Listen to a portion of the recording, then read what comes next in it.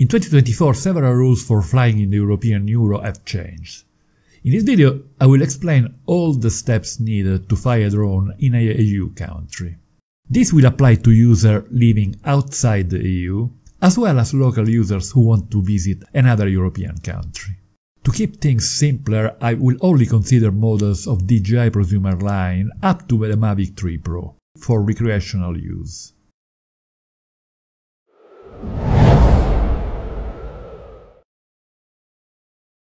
The body responsible for drone regulation within the European Union is EASA, European Aviation Safety Agency. The same rules apply to every European country, plus Switzerland, Iceland, Norway and Liechtenstein. If you live in a country under EASA rules, you should register in the country of your residence and follow the procedure for insurance and permits if needed. You will then be able to fly your drone in any other European country.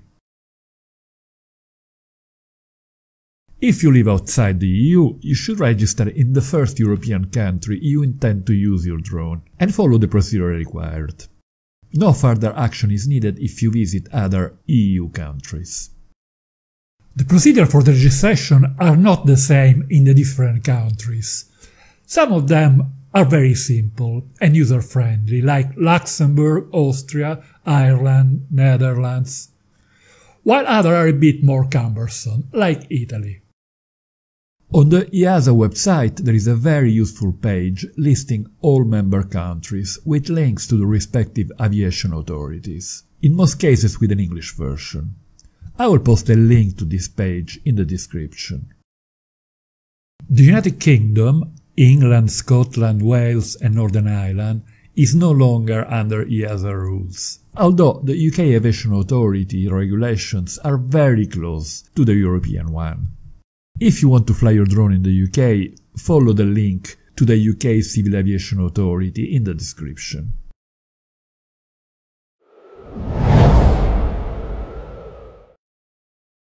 The different models of drones are organized in a system of category, subcategories, and classes. Might look a bit complicated, but I will explain it in the easiest possible way. Classes are organized according to the weight. There are seven classes going from C0 to C6, but prosumer recreational drones fall into the first three. C0 is for lightweight models below the threshold of 250 grams like the Mini 2 SE, Mini 3, Mini 3 Pro and Mini 4 Pro. C1 is between 250 and 900 grams, including the Air 3, Mavic 3 and Mavic 3 Classic. C2 is between 900 grams and 4 kilograms. The only model included here for our purposes is the Mavic 3 Pro, which is slightly heavier than the two other Mavic model due to the three lenses. Categories and subcategories are based on what the drone can and cannot do. There are three categories open, specific, and certified. Open is for leisure and for low risk commercial activities. It is the only one we are concerned here. The other two are for higher risk activities and are beyond the scope of this analysis. The open category is divided into three subcategories. In A1, it is possible to fly in any non-restricted environment, including urban ones. No minimal distance from building is required. Flying over uninvolved people is allowed, unless in case of assembly of people, like concert, the audience of a sport event, weddings, and so on. In subcategory A2 it is possible to fly in urban areas, even close to buildings, but with a minimum distance of 30 meters from uninvolved people. In subcategory A3, a minimum distance of 150 meters must be kept from building and uninvolved people. All drones sold from January 2024 must have the CE mark specifying the class. Drones sold before this date without a CE mark will be considered legacy models. All legacy models will operate under the subcategory A3 regardless of their weight. As an example, a Mini 4 Pro, which weighs below 250 grams, will be considered class 0 if it is marked. Otherwise, it will be in class 1 as a legacy model.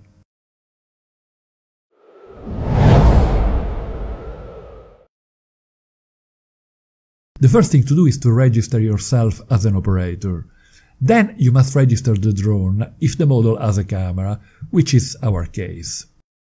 The procedure for registration of the operator is generally very simple, simply adding your basic data. Refer to the EASA pledge listing with the individual nation's authorities. For the registration of the drone, you will have to enter the model and the aircraft's serial number, which can be found on the About page of the settings in the DJI Fly app. Drones with class identification labels C1 and C2 are equipped with remote identification systems. The drone operator is required to upload onto the remote identification system the operator registration number.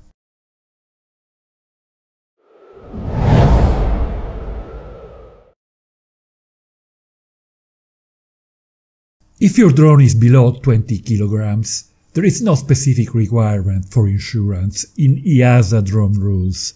However, most EASA member states mandate third-party liability insurance if you're operating a lighter drone. So, once again, consult the individual national authorities' websites. If your drone is already insured in your country, chances are that it will be covered when used abroad but this must be checked on a case-by-case -case basis.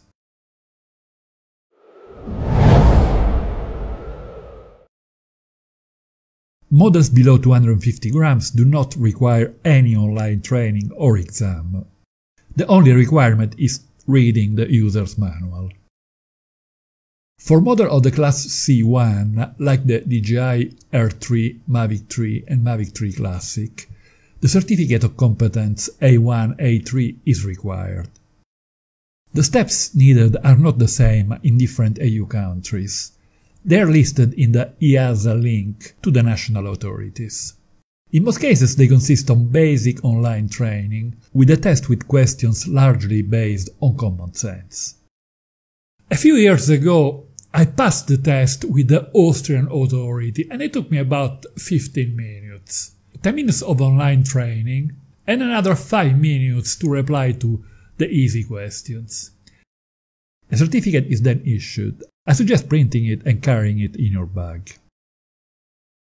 For models of the Class C2, a more demanding exam is required to obtain the Remote Pilot Certificate of Competency for A2 Open subcategory. Several steps are involved a proof of completion of online training for the A1-A3 subcategory, conducting and declaring practical self-training, passing an additional theoretical exam. The only DJI prosumer drone involved is the Mavic 3 Pro. If you're visiting for a non-EU country and plan to fly for recreational purposes, you may consider if you can bring a lighter model.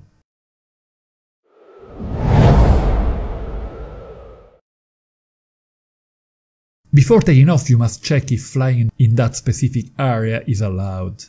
The usual EASA page contains link to the official maps for most countries. Make sure to consult them before each flight. Restricted areas are generally in red. Here flying is not allowed, although in some cases it is possible to apply for authorization. Warning areas are in orange or yellow. Here the maximum flight height can be limited. It is also possible to consult DJI FlySafe maps, which work similarly. Several European countries have integrated their official maps into DJI geosystems, so that they're constantly kept up to date.